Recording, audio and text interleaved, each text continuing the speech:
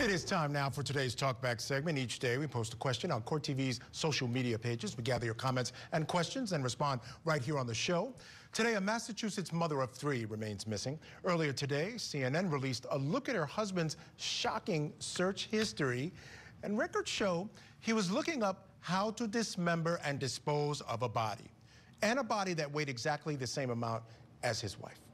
Okay, so what do you think of this new information and the evidence that seems to be stacking up against Brian Walshe?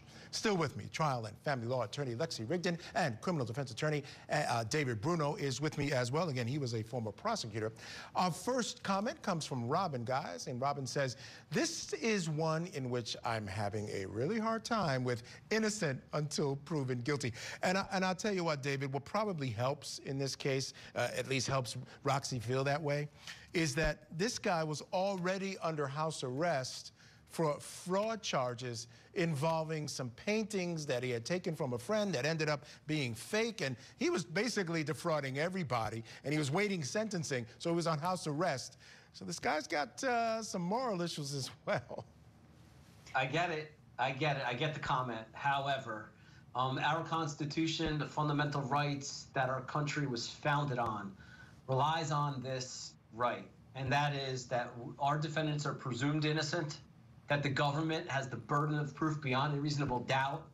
And that is the reason uh, that we have all these principles because we would rather an innocent man go free than an than an innocent man be found guilty. And that's why the burden is so high, and that's why those constitutional rights are there. All right. Let's go to our next comment. It comes from Vincenzo. Vincenzo says the husband spent hundreds on cleaning supplies.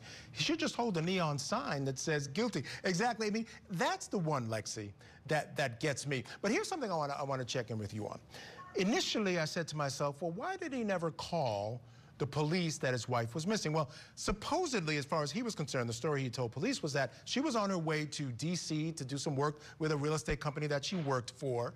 Um, so she goes away, and I know my wife goes away on business as well. Sometimes, uh, you know, we talk every night, but there's a period there where I'm not sure where she is, you know. But, you know, she's always texting me, I'm on the plane, we're taking off, we're doing all those things. I guess maybe this couple didn't do that, but it was the company that ultimately ended up calling to say they didn't know where she was. So that told me a lot as well. Right. I don't think he had an interest, a vested interest in telling anybody where she was. And trust me, if my husband gets up at four to get a flight, I'm not getting up. But in a few hours, if I can't find him, I don't know where he is, I haven't heard from him, then alarm bells are going to be sounding. So she, he obviously he obviously knew exactly where she was. And I get we're innocent until proven guilty, and, and I get that. But, you know, from a casual observer, as I am in this type of case, the evidence is mounting and mounting. And unless he owns a cleaning company, there's really no reason he'd be going out and buying $450 worth of cleaning supplies. So he kind of did everything wrong. And everything that is coming out in the media is just showing showing us more and more that the clock is ticking and he's probably going to be charged very soon as, as soon as they're finished their investigation enough to be able to charge him. Yeah, I would love to know what's going through his mind now. He's got to be sitting in a cell saying he's just waiting. He's just waiting. He knows he might never see uh, be free ever again. Our next comment comes from Kat. Kat says, at what point should a cashier be suspicious enough to inform the police?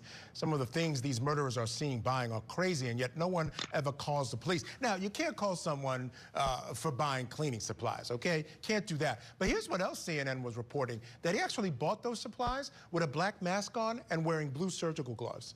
So again, the thing, it just continues to boggle the mind, David. And again, surveillance video, right? Home Depot's got it. They probably have like the HD camera like right in front of the guy's face as he buys that. Um, and it's it's hard. It's hard for bystanders out there, especially in Home Depot when people come in to buy cleaning supplies. But it is important that everyone keep their eyes open. We are in a crazy world right now, and if you think there's a problem, say something. We could always, you know, figure it out after. Yeah, fair enough. And again, Brian Walshe, innocent to proven guilty. You made that great point, David. But again, we're all looking for justice for Ana. Hopefully, uh, she will be found. Um, the all Google right? searches, uh, they right. crush them. Mike. Yeah, no question. All right, thanks to Lexi Rigdon and David Bruno for being with us tonight. Always a real pleasure to have you guys on the show. Thanks again.